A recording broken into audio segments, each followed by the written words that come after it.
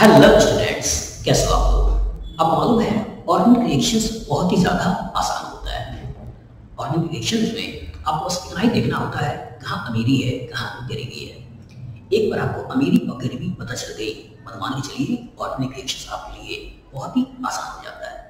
तो अमीर कैसे पहचानोगे? अमीर का मतलब या तो उसके पास नेगेटिव चार्ज होना चाहिए लोन पेयर इलेक्ट्रॉन होना चाहिए बाई बॉन्ड होना चाहिए। गरीब मतलब उसके पास पॉजिटिव चार्ज होना चाहिए इनकम्प्लीट ऑक्टेट होना चाहिए वैकेंट ऑर्बिटल होना चाहिए। बस यही देखना है। चलिए, सोचते हैं।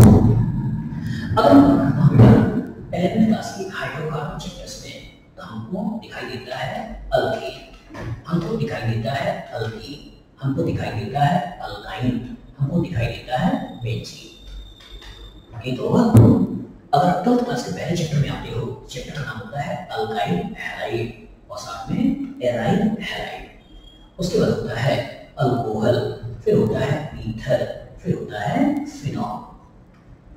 फिर हम बात करते हैं आपका एल्डिहाइड फिर बात करते हैं कीटोन।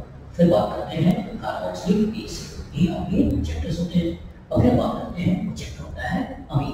तो अमीन आपका सिंगल बॉन्ड का भी हो सकता है और अमीन आपका बेंजीन वाली खाने भी है मतलब एलिफेटिक भी हो सकता है और एरोमेटिक अमीन हो सकता है।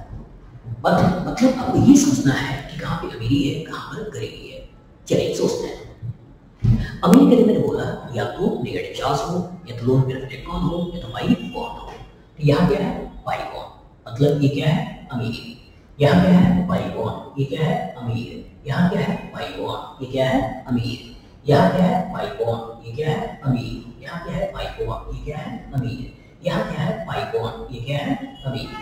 बस जान और गरीबी मतलब कोई इलेक्ट्रॉन खींचे, या तो पॉजिटिव चार्ज हो, या इनकम्प्लीट ऑक्टेट हो, या वैक्टर ऑर्बिटल हो। तो यहाँ पे क्या है? इलेक्ट्रॉन खींचने वाला है कार्बन गरीब। खींचने वाला है कार्बन गरीब। खींचने वाला है कार्बन गरीब। खींचने वाला है कार्बन गरीब। खींचने वाला है, खींचने वाला है कार्बन गरीब। खींचने वाला है कार्बन गरीब। खींचने वाला है कार्बन गरीब। खींचने वाला है दैट मींस कार्बन गरीब ये जो है, खींचने वाला है। दैट मींस कार्बन गरीब ये भी खींचने वाला है। यहाँ पे भी कुछ हद तक गरीबी है। बस हो गया। यहाँ पे क्या है? यहाँ पे इस पैसे की कोई मोहमाया नहीं है। मतलब ना ही पैसा लेना चाहता है, ना ही पैसा देना चाहता है। मतलब नॉर्मली रिएक्शन करना नहीं चाहता है। लेकिन दिक्कत ये है कि तुम पढ़ना ना चाहो तो क्या पापा तुमको छोड़ देंगे? कूटेंगे मतलब इसे लाइट में खड़ा करते हैं टेम्परेचर डालकर रिएक्शन करवाते हैं। और जब लाइट डालकर टेम्परेचर डालकर रिएक्शन कराते हैं तो वो बी सेट टूटता है और उस तरह की रिएजेंट बोलते हैं फ्री रेडिकल है। मतलब तीन तरह के अटैकिंग स्पेसीज हो सकते हैं। एक हो सकता है इलेक्ट्रॉन रिच जिसको न्यूक्लियोफाइल कहना है। एक इलेक्ट्रॉन डेफिशिएंट जिसको इलेक्ट्रोफाइल कहना है।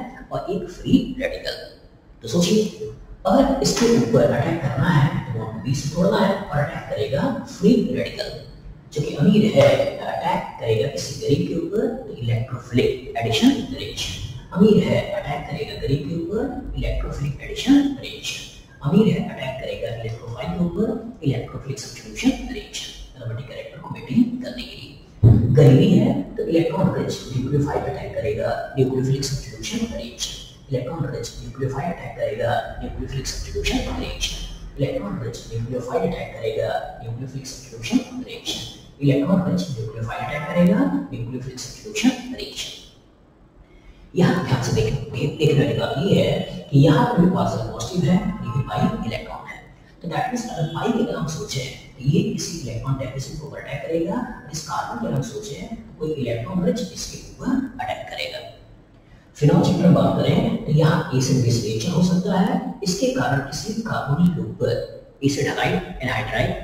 एस्टर के ऊपर रिएक्शन करते हुए हम कॉरस्पॉन्डिंग एस्टर्स हो सकते हैं और इसके कॉरस्पॉन्डिंग भी किसी इलेक्ट्रॉन डेफिशिएंट इलेक्ट्रोफाइल के ऊपर अटैक हो सकता है।